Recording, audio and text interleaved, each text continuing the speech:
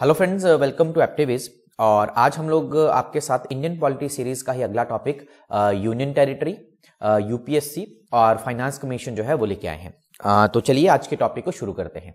देखिए अगर हम यूनियन टेरिटरीज की बात करें तो यूनियन टेरिटरीज हमारे पास इस टाइम पे टोटल कितनी है जी? एट यूनियन टेरिटरीज हैं एट प्रेजेंट इससे कुछ समय पहले हमारे पास कितनी यूनियन टेरिटरीज थी? नौ यूनियन टेरिटरीज थी।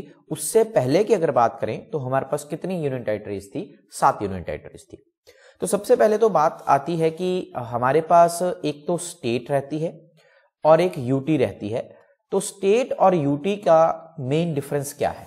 देखिए जब हम लोगों ने जब भारत आज़ाद हुआ था तो उसके बाद सबसे बड़ा मुद्दा ये था कि अगर हम लोग स्टेट्स बना रहे हैं तो किस बेसिस के ऊपर हम स्टेट्स को बनाएँ?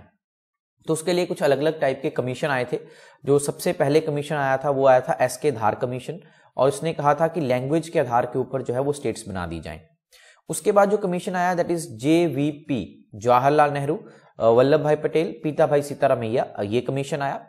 उसके बाद जो अगला कमीशन आया that is Fazal Ali commission ये तीनों कमीशन जो थे, वो भाषा के आधार के ऊपर इन्होंने हमारी क्या बना दी? स्टेट बना दी। और जो